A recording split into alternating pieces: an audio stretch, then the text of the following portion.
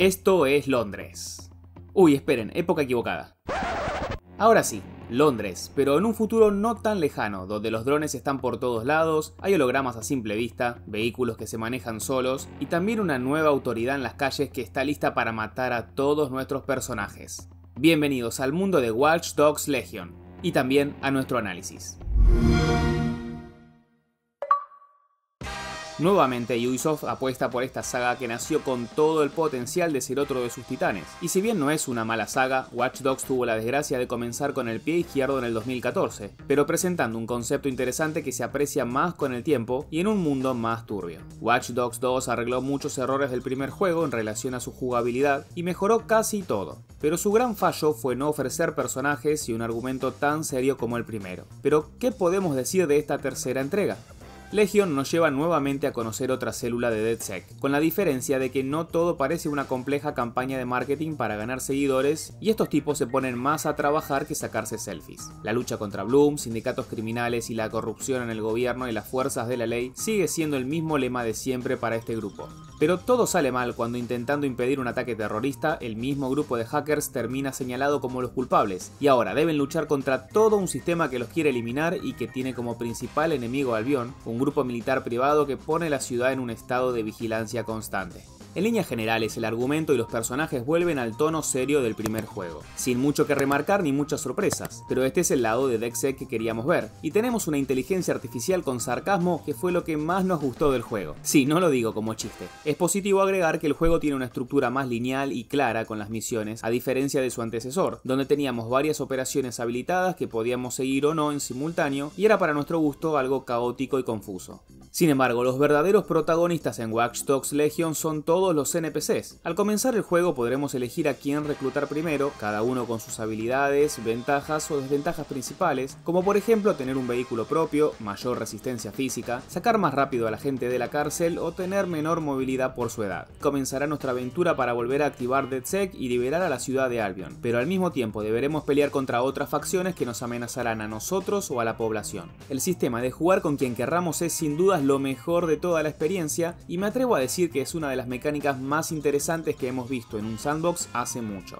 Podremos cambiar entre diferentes personajes casi en cualquier momento, incluso entre intervalos en algunas misiones. Como agentes de DeadSec tendremos la posibilidad de marcar a cualquier persona que veamos por la calle, ya sea un simple civil, un agente de seguridad, un paramédico, una abogada, una celebridad, a quien vos quieras, para después hablar con él e intentar que se sume a la causa. Cada personaje lleva su vida propia dentro del juego, con sus horarios y profesiones, por lo que a veces no podés simplemente hablar con ellos en cualquier momento y hay que esperar la situación ideal. Cada uno puede tener un problema y en relación a algo ilícito te piden que los ayudes a cambio de aceptar ser un agente de DexSec. Pero hay ciertos personajes que son mucho más difíciles de convencer para la misión de reclutamiento o que requieren una investigación más profunda para encontrar algo que los molesta del sistema. Al ayudarlos con esos problemas personales generamos más confianza para que nos digan sus condiciones. Y existen casos totalmente opuestos donde se pueden reclutar más personas salvándolos de un aprieto en la calle.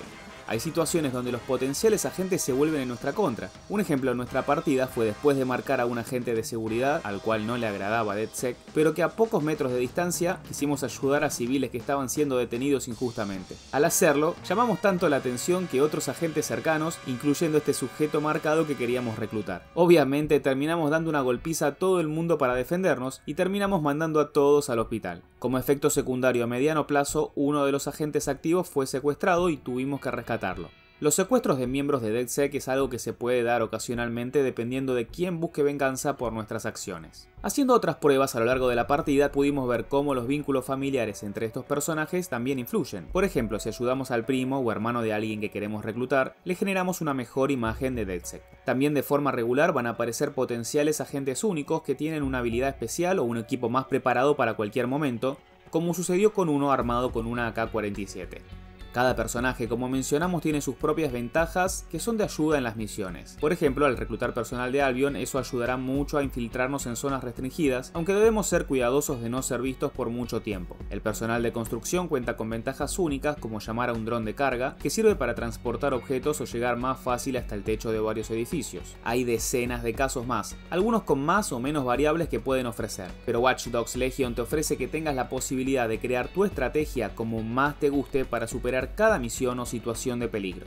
En nuestra partida jugamos con muerte permanente activa, una de las funciones que hacen que toda la fórmula de los NPC tenga tanta importancia y es recomendable que juegues de esta forma. Cada agente puede ser asesinado y no ser jugable nunca más, pero no te preocupes si fallas algo en tu primera hora de juego porque esto no se activa hasta terminar la introducción general. Los agentes también pueden ser detenidos por las autoridades y serán liberados después de varios minutos, pero llegado el caso de que todos los agentes sean asesinados o detenidos, el juego finalizará automáticamente. Previamente, Watch Dogs nos daba herramientas para piratear el mundo desde nuestro smartphone. En Legion la interacción ha cambiado y ahora es todo más directo y de hecho se ha eliminado casi por completo el uso de un dispositivo. Como el juego se sitúa en una sociedad más avanzada tecnológicamente, los usuarios no solamente podrán hackear cámaras, dispositivos o vehículos como ya veníamos haciendo desde entregas pasadas. Los drones y robots juegan un rol cada vez mayor. Por ejemplo, ahora veremos drones de ataque o aracnodrones capaces de perseguirnos y atacarnos a pie, mientras que otros drones más pequeños pueden seguirnos a altas velocidades y lanzar pulsos electromagnéticos contra nuestros vehículos. El árbol de habilidades se ha reemplazado por un sistema de mejoras mucho más sencillo de comprender, que se desbloquean a medida que consigamos puntos de tecnología que se pueden ganar superando misiones principales o encontrándolos en el mapa. Con estos puntos iremos desbloqueando nuevas armas, mejoras para nuestras habilidades de hackeo sobre drones, torretas o armas, e incluso podremos desbloquear nuevos gadgets. Los gadgets juegan un papel fundamental en este tipo de juegos, como el uso de aracnodrones, que es una alternativa para estar presente físicamente en cualquier instalación, y así hemos pasado segmentos enteros de una misión, mientras que también podremos usar armas no letales contra nuestros enemigos o armas de realidad aumentada para ocultar enemigos abatidos. Pero hackear no es la única arma que tendremos a nuestra disposición, ya que también contamos con armas de fuego y nuestros propios puños. Un cambio interesante es cómo la inteligencia artificial reacciona a nuestras acciones en combate, por lo que no van a disparar a matar a menos que usemos armas, pero cualquier acción violenta cuerpo a cuerpo tiene una respuesta similar de todos los enemigos. El sistema de combate cuerpo a cuerpo es muy simple, con botones para golpear, romper una defensa o esquivar ataques. Lo interesante es que si no hacemos un movimiento final cuando un enemigo esté en el suelo, este se podrá levantar y seguir peleando.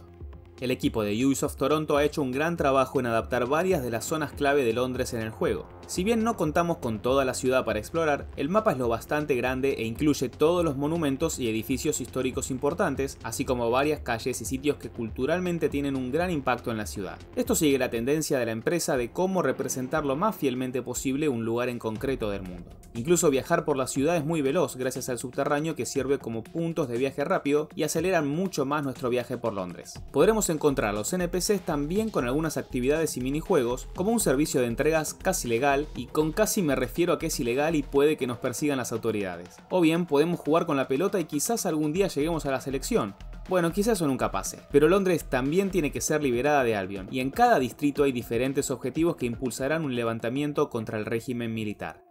El gran problema a nivel técnico es que faltan optimizaciones. Seguramente han escuchado del mal desempeño del juego en Xbox One X y el supuesto error de sobrecalentamiento que impide progresar en el juego. En nuestro caso analizamos Watch Dogs Legions en una Xbox One Fat y una Xbox One S como consola de soporte. Nuestra experiencia tuvo ciertos problemas con el rendimiento, teniendo que ver cómo el juego se colgaba en varias ocasiones en plena misión o al hacer algo tan sencillo como caminar. Incluso el parche previo a su lanzamiento no solucionó nada. Aunque el juego tarda más horas en cerrarse de forma brusca sigue habiendo crasheos. La inteligencia artificial también tiene sus defectos con personajes que a veces no pueden ver lo que tienen enfrente. Algunas animaciones o cinemáticas también pueden presentar errores y no, acá los personajes no están camuflados o algo por el estilo. Todo el juego cuenta con textos en español, pero en cuanto a voces solo hay un doblaje al castellano al cual se podrá acceder si descargamos el pack de voces. Es decepcionante que Ubisoft ya no apueste a un doblaje latino para nuestra región. También decepcionó la banda sonora que pasa inadvertida en todo el juego porque no hay radios o una forma de establecer nuestro propio playlist como pasaba en Watch Dogs 2. En definitiva, Watch Dogs Legion viene a entregarnos lo que Ubisoft ha prometido, a pesar de que el juego presenta problemas técnicos que son fáciles de señalar. Es algo que parece que Ubisoft no puede borrar de su sistema teniendo varios juegos cuyos lanzamientos contaron con varios problemas, aunque sabemos que tarde o temprano van a parchear el juego. En total, el modo historia tiene una duración respetable que podríamos estimar en torno a más de 15 horas, pero todo va a depender de cómo quiera jugarlo. Aún nos queda mucho por hacer, como varias actividades secundarias o seguir sacando logros de Xbox, que para quien esté interesado no son tan fáciles de alcanzar. Y no nos olvidemos que habrá un buen soporte post lanzamiento, incluyendo un modo cooperativo y multijugador. En definitiva es un buen juego. Hasta podríamos decir que se trata de uno muy bueno si no tuviera los problemas técnicos que mencionamos. Su precio de lanzamiento no lo vemos justificable en un 100%, por lo que quizás recomendaríamos esperar que alguna pequeña rebaja coincida con estos arreglos que hoy necesita. Por ahora vamos cerrando sesión y no te olvides de seguir a Colectiva Xbox en todas nuestras redes, si no te enviamos un hacker de Dexec para que lo hagas. Es broma. ¿O no? Gracias por acompañarnos y nos vemos en la próxima. ¡Chao!